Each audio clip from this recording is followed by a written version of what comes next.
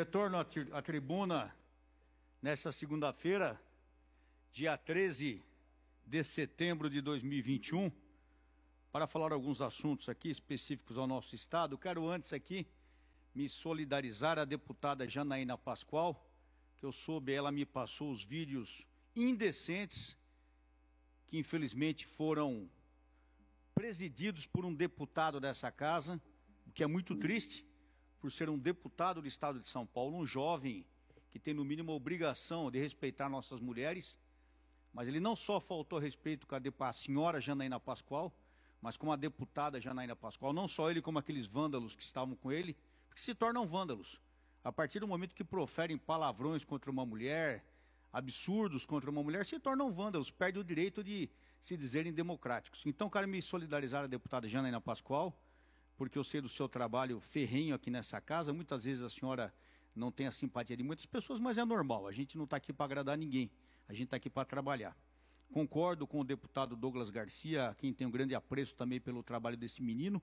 Chamo o menino no bom sentido porque tem idade para ser meu filho, já teve muitos precalços nessa casa, mas tem se mostrado um deputado combatente pelos seus, pelas suas ideias, um deputado aguerrido, que tem sido muito criticado também, como é o caso também do deputado Gil Diniz aqui presente. Então, deputada, conte com o meu apoio. Acho interessante até a proposta de levar a, a situação para a comissão de ética, porque por muito menos aqui pessoas foram levadas para a comissão de ética. E é inadmissível que um deputado em público falte ao respeito com outro deputado por ideias. A senhora tem todo, todo o direito de expressar suas ideias, como todos os deputados aqui têm.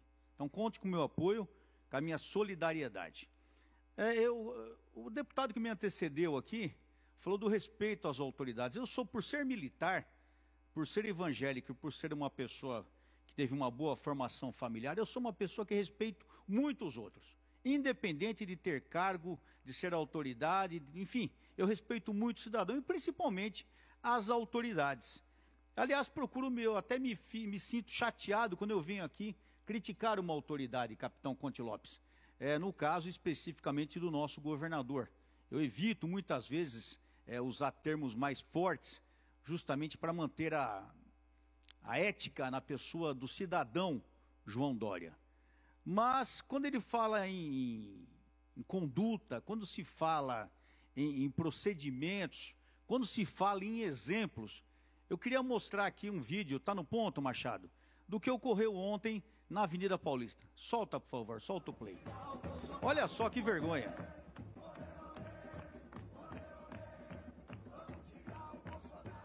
Vamos tirar o Bolsonaro do. Isso é democracia? Pode aumentar um pouquinho o som deles.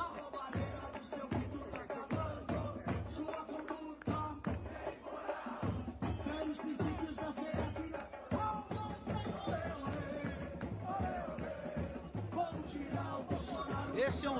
Esse é o governador de São Paulo, pode baixar o som lá. Esse é o governador de São Paulo saltitando, pode deixar a imagem, saltitando na Avenida Paulista, saltitando na Avenida Paulista, pedindo um ato antidemocrático, pedindo que seja retirado o, o presidente Bolsonaro do poder. Esse é o cidadão que vem aqui falar que é, que é democrático.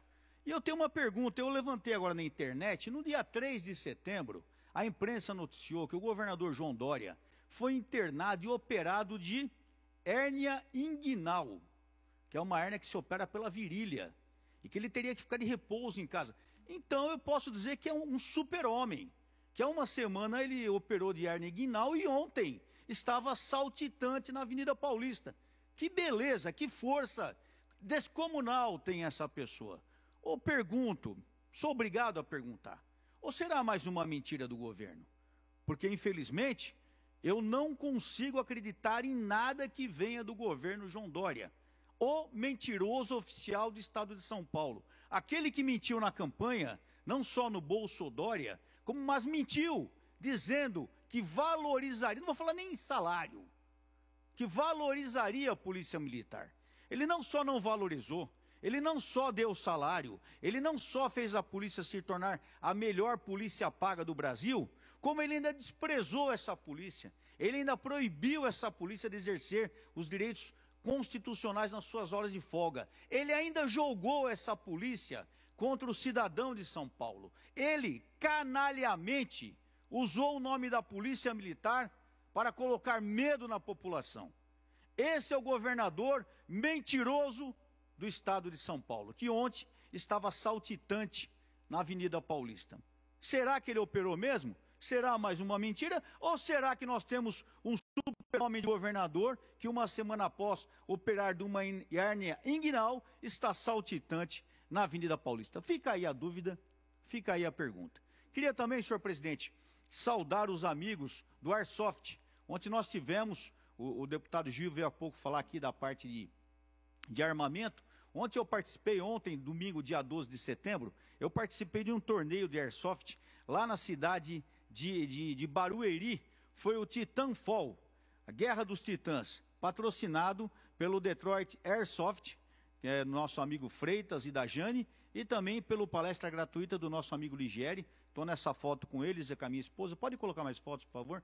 Aí eu estou dando autógrafo num, num dos livros que eu, que eu fiz, um, um, dos amigos trouxe o livro. Aí com alguns participantes, o pessoal todo equipado, o Sargento Silvio, aí eu com uma arma de airsoft. É incrível essas armas. Pode voltar essa foto. É incrível essas armas, Capitão Conte, o senhor que é oficial de rota, a semelhança com um armamento real. Não só no peso, no manuseio, no engatilhamento da arma. É incrível a semelhança. Se a pessoa usa essa arma para praticar um roubo, ela vai conseguir êxito porque a arma tem tudo de uma arma real. Pode ir mais para frente, por favor? Aí são cenas do evento, nós com alguns participantes. Aí o pessoal que estava, haviam mais de 500 participantes. Aí está uma parte do grupo, tem outra foto, não sei se o Machado, isso. Essa foto aí está mais próxima. Ah, lembrando que o nosso amigo Tenente Coimbra esteve presente também lá conosco. Tenente Coimbra, deputado estadual. Enfim, são é, é, fotos. É, esse vídeo, esse vídeo é um vídeo que eu coloquei só para vocês verem é, a, como que um armamento funciona. Eu estou usando uma pistola para fazer uns tiros, a, tentando acertar.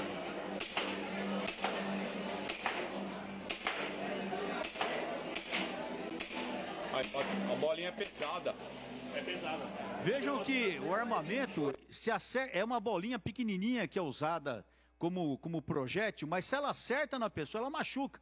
Tanto que vocês pode colocar uma das fotos depois, Machado, da pessoa equipada para fazer o combate e fazer a missão no Airsoft. Ele usa totalmente um equipamento que protege não só o peito, o rosto, eles usam máscaras, usam coletes. Por quê? Porque tem que estar todo equipado para essa situação, porque você pode sofrer um sério ferimento nos olhos, na boca, em qualquer parte do corpo. Então é um, é um é esporte que está sendo muito difundido no Brasil e eu acho interessante porque eu sou partidário de que o cidadão possa fazer, ter o, o, porte de arma, que ele possa ter armas em sua casa, que ele possa se defender. E eu acho interessante que os nossos jovens estejam aptos a usar armamento e através do airsoft, que é um, um esporte de menor potencial é, ofensivo, menor perigo, ele permite que a pessoa possa fazer o treinamento com aquela arma. Então, parabéns a todos, está aí as imagens novamente. Vocês veem que o projétil lá na frente, ele acerta o pano que está atrás e chega a balançar o pano. Eu acertei a bolinha aqui, o projeto é tão leve que a bolinha quase não balança. Não errei todos, não, acho que eu acertei um ou dois. Mas é um armamento interessante, é um, armamento, é um, um esporte muito, muito importante. Então, parabéns a todos os amigos e amigas do grupo Detroit é, Airsoft e dos demais grupos que participaram. Como eu disse, haviam mais de 500 competidores participando desse evento ontem na cidade de Barueri. São pessoas que querem, é, treinam para garantir a sua família, para garantir a sua segurança. E é isso que nós primamos aqui, pela segurança pública, pela segurança da família, pela segurança das escolas. Nós somos, frontal, somos frontalmente contra qualquer tipo de crime. O deputado veio há pouco aqui falar que ele está apresentando uma subcomissão contra os atos de terrorismo que acontecem em muitas manifestações. Nós vimos em manifestações aí indivíduos criminosos sendo presos com equipamentos para se fazer um coquetel molotov. Eu, quando a gente fala em coquetel molotov, deputado Conte Lopes, eu acho que tem muitas pessoas que nem imaginam a, a capacidade de, de, de, de, danos que provocam um, um, um coquetel molotov.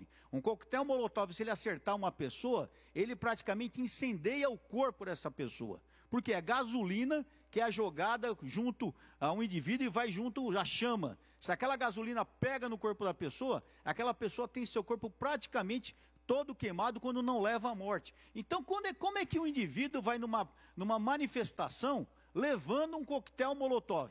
É terrorista ou não é? Tem que sofrer as, as, as forças da lei, tem que sofrer toda a, a capacidade de se punir alguém pela lei ou não? Ou nós temos que esperar que aquela pessoa toque fogo em outra pessoa para se tomar uma providência?